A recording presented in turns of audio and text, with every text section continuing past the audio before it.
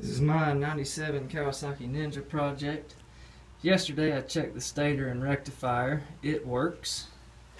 Um, I went ahead and checked all the fuses. Everything's good and we got continuity. I also checked the... Where'd it go? I also checked the CDI box. There's really not much to check, but I do have continuity from the CDI box down here to the coils. I did test, where are those? I tested both coils. I saw a little trick. You just hook one end up to a D cell battery and tap the other end to it. And if they spark, they should be pretty good.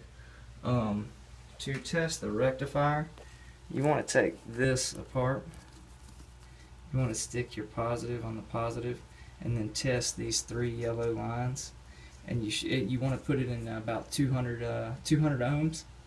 And you want to test to see what your resistance is.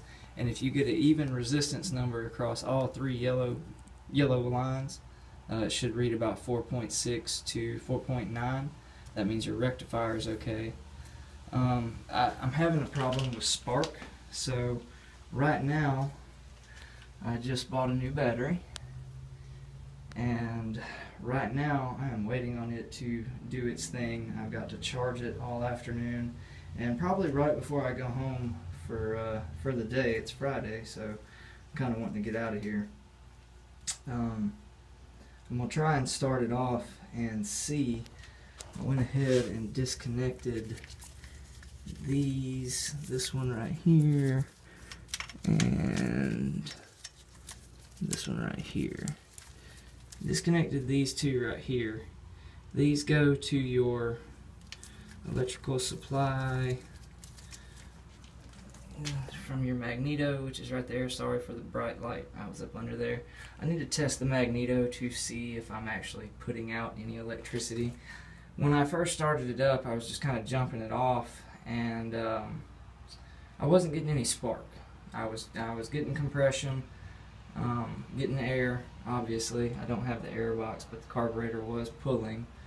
Um, and I, I just, I, I wasn't getting any spark, so I've been slowly, slowly diagnosing spark and no spark issues. So now I have a actual battery to use and I'm going to see what we got going on because when I do actually hook a power pack up to it I'm not getting anything this is the harness for the ignition. As you can see, the ignition looks like it's already been punched and it will turn over and the neutral light and everything does come on so that leads me to believe it is in the on position. But I am actually going to buy a harness and do away with the actual ignition and key it's just going to be push start. So another thing I'm worried about are these buttons okay the start button, when I had it hooked up to the jump pack, just doesn't work. I think all this has just been sitting out in the sun, rotting. Um, the high-low beams, it, it, yeah, it doesn't work. Turn signals when I hook power to them doesn't work. The horn button is all gummy. Like I said, I just need to take these off and redo it. But besides that, the bike's only got 24,000 miles on it it's in fairly good shape. I am gonna have to buy new tires. Those are just just ugly and dry rotted. And I'm gonna have to do some wiring work. This I don't know if this these splices in here are from the factory. I, I don't know if they're supposed to be like that, but whoever spliced them in did a damn good job. They use these crimp tie. Focus. They use these crimps crimp ends so it makes me think it's factory done. But I could be totally wrong. Uh, please leave a comment if you know or don't know but I will get back to you as soon as I turn it over. I'm gonna like I said I'm going to test the um, take the electricity from the magneto see if I'm actually getting anything while I'm turning it over but uh, yeah, it actually is turning over.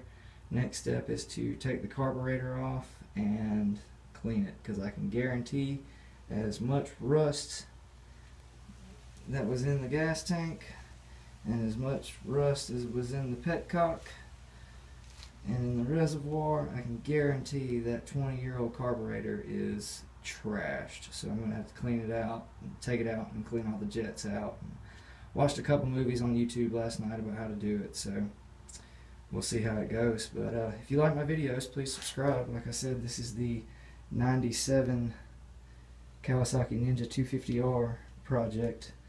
Slowly but surely I think I can spend probably around $200 and get it back up and running. Probably gonna have to order a new wiring harness. This harness is just seen better days. So thank you. Subscribe